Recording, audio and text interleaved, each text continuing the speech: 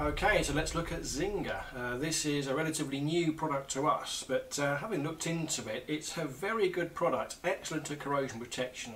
It's got a lot of test data against uh, corrosive protection in very harsh conditions. Um, it's got Lloyd's registration certification um, in maritime environments.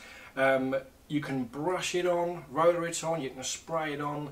Very good for accessing very difficult locations. So we're going to see a video now showing application of this product to a very difficult structure, namely a power pylon, and you've got to kind of hang off these and get it right in the corners. Um, so yeah, let's have a look.